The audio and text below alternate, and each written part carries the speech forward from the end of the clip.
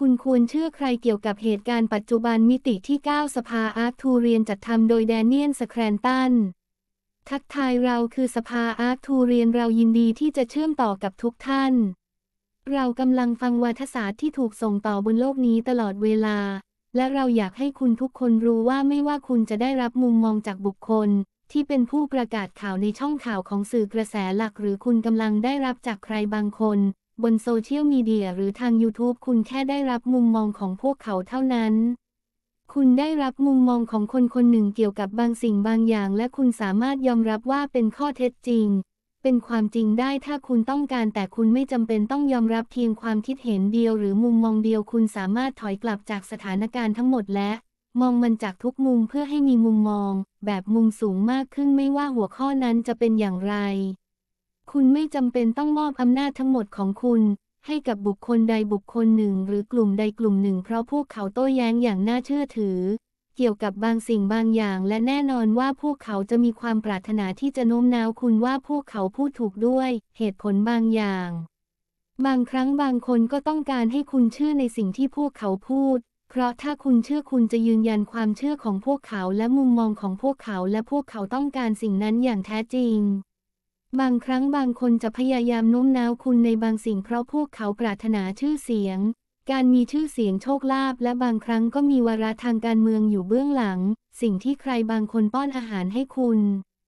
บางครั้งมันก็เป็นเรื่องยากสำหรับคุณ ที่จะแยกแยะว่าใครบางคนมีวาระหรือคิดทำอะไรโดยเฉพาะอย่างยิ่งเมื่อคุณชอบสิ่งอื่น ๆ ที่พวกเขาต้องพูดในหัวข้อต่างๆ ตลอดหลายปีที่ผ่านมา บางทีบุคคลนี้อาจเป็นครูที่ยอดเยี่ยมในการแสดงความเป็นจริงที่คุณต้องการ แต่พวกเขาก็เจาะลึกเข้าไปในทฤษฎีสมคบคิดด้วย และเมื่อคุณดูวิดีโอเหล่านั้นคุณจะรู้สึกได้ว่าท้องไส้ปั่นป่วน นั่นอาจทำให้การทราบว่าต้องติดตามข้อมูลช่องทางใดจึงค่อนข้างท้าทาย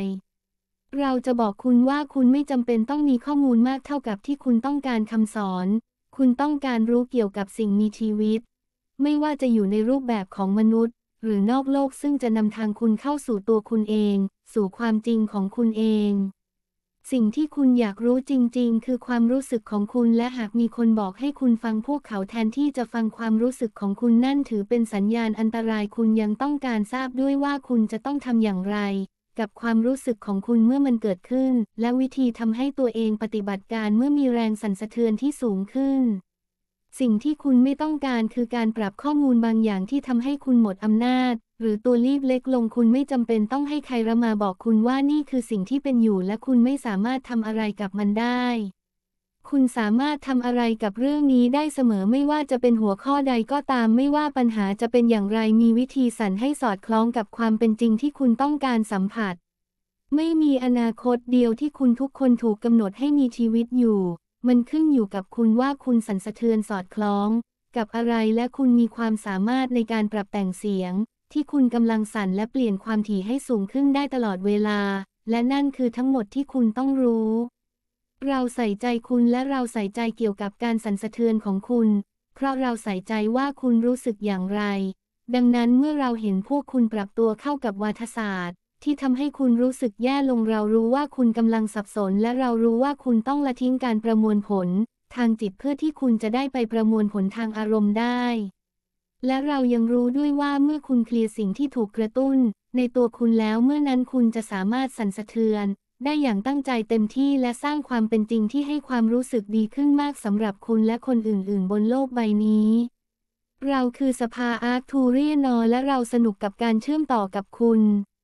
แปลโดยบูสเด